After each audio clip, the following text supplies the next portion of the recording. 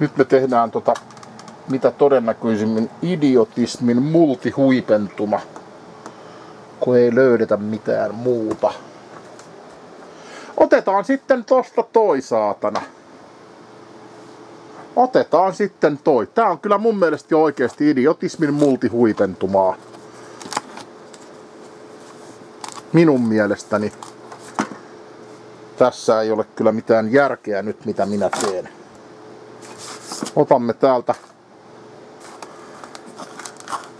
Onks tää No on tää nyt sentään parempi kuin 24 porttinen saatana. Mulla oli äsken 24 porttinen tässä näin käytössä. Mutta on tää nyt vähän idiotismia kyllä vielä tämäkin. Minun mielestä. Nimittäin. Nimittäin. Täällä on muuten ihan vitun kuuma sitten voin kertoa ihmiset. Mä olen asentanut itseni kulkemaan hyvin vähissä vaatteissa, mutta kyllä minulla täällä vaatteet päällä on. Tuota, tai lähemmin sanottuna yksi vaate. Minä ajattelin laittaa nyt tähän tällaiseen. Sehän lähti käyntiin. Tää pitää joskus laittaa paremmin. Eli mitäs nyt sitten tapahtuu? Me tarvitsemme yhden kappaleen verkkojohtoja, lyhyitä verkkojohtoja jostain. Mistähän me se löydettäisiin? Täällä on muuten ihan vitun kuuma, 30 astetta ja silleen. Mut kai mä saan himassa tälleen kulkea omissa tiloissani niin kuin mä parhaaksi katson. Saatana. Nyt mun tarttis oikeesti löytää se verkkojohdon pätkä. Mistähän mä sellaisen nyt tekisin? Verkkojohto. Yksi kappale. Pätkä. Päätäs. Mulla roikku joskus tästä. Tänne pitää nyt ruveta tota sellaisia niitä pöydän jalkoja tai jotain, jos joku haluaa mulle lahjoittaa, niin kelpaa. Mikähän vittu tämäkin on? Lamppu. Resettiskanni. En tiedä mikä. Noin pitäisi saada imuroitua. Pölypussit on taas vittu loppu. Mutta ei hätää. Heitetään toi tonne. Noin. Mä laitoin tohon tollasse. Ja siinä on nyt pelkästään ja ainoastaan ja vain verkkojohtoja, tällaisia verkkojohtoja, näitä.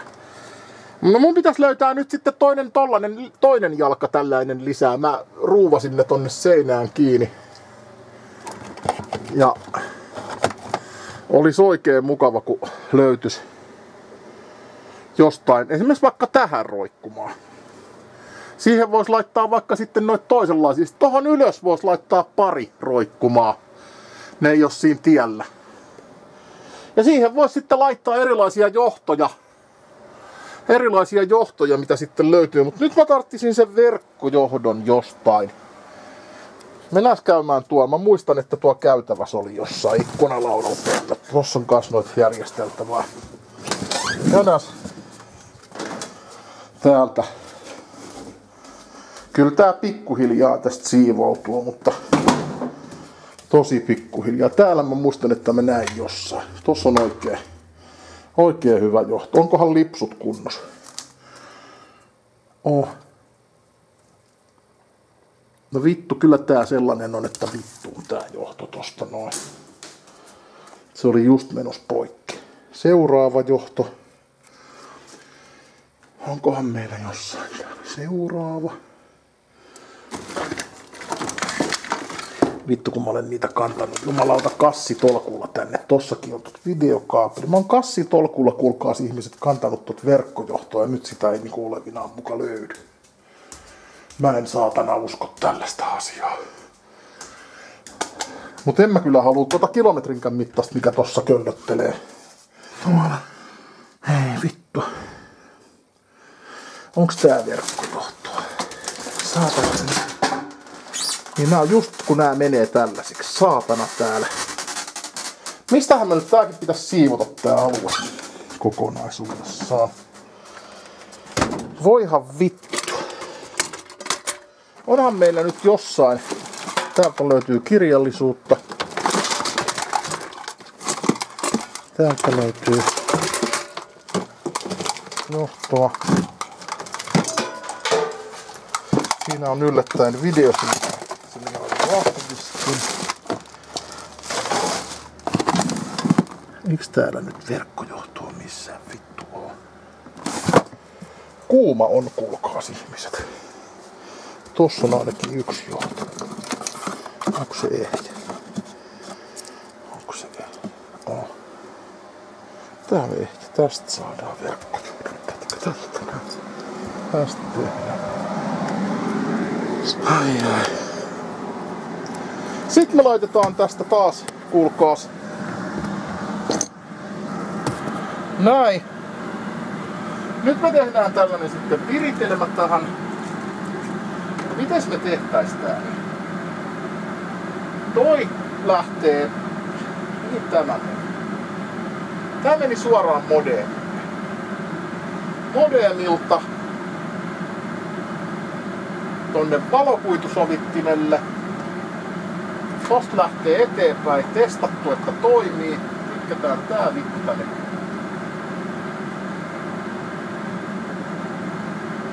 Miten nyt laitetaan tää? Laitetaan tänne ulostulopuolelle. Ykkösestä sisään. Ykkösportista vittu valokuitua kamaa sisään. Tuli linkki. Ja sitten otetaan täältä modemilta radioverkko irti. Ja otetaan toi tonne. Ulos. Teki linkin. 1, 2. Ja tää ihan sen takia, että mä saan kaksi erilaista IP-osoitetta. Nyt sitten käydään katsomassa saatana, että saatiinko me, onks täällä nyt oikeasti jo, täällä ei kyllä yhtään, nyt siellä jotain dataa. Katsotaan sitten täältä, mennään testaamaan, voisiko tää aueta, aukes.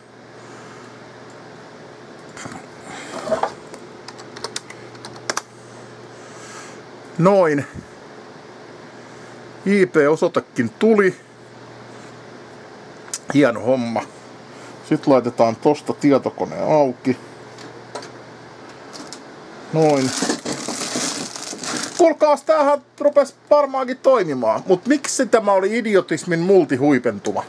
No, tietystikin siksi, että jos 16-porttinen kytkin kytketään vittu sellaiseen käyttöön, että kolme porttia on käytössä, niin mun mielestä se on vähän hölmöä. Mut kun ei nyt sattunut ole sellaista, mulla on D-linkkejä tossa, en varmana laita vittu D-linkin kytkintä sellaiseen paikkaan, missä kulkee kaikki talon internetliikenne. En varmana laita.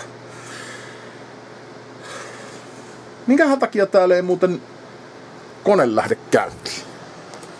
Mä laitoin ton kyllä käyntiin tuot. Onks tää nyt sitten niin hidas hämäläinen? Tää kone. Onks tosissaan niin? Monitorit kyllä lähti päälle. No niin, lähteehän se siitä. Hei, meillä on tällainen konferenssilaite täällä. Me voimme myöskin täällä kohta huudella, kun vaan johdotukset vedetään, niin me voimme huudella täällä iloisesti eri studioiden väliltä. Tästä tehdään päästudio, täältä kuitenkin huudellaan kaikkiin paikkoihin, mutta mä en tiedä saako tän silleen, että että tää olisi niinku se keskipiste ja sitten täältä voisi huudella niinku alakertaan ja tonne saatana kämppään. Mutta miten se onnistuu? Se ei sitten onnistu mitenkään päin, että kämpästä huudetaan sitten. No mutta täytyy tutustua. Tällainen hieno laite löytyi. Tää on kotimaista valmistetta. Tää on tosiaankin kotimaista työtä. Eli voin sanoa, että on laatua. Kotimainen valmiste on aina hyvää. Pääsääntöisesti. Tää on se itse versio, mutta Kattokaa muuten saatana, miten siisti tää on. Käytetty laadukkaita osia. Tän tuntee oikein, että tää on niinku tällainen helvetin hyvä. Tällä pääsee huutelemaan. Nyt se heräs henkiin kuulkaas. Tästähän tästä lähtee tänään Nastola natisee.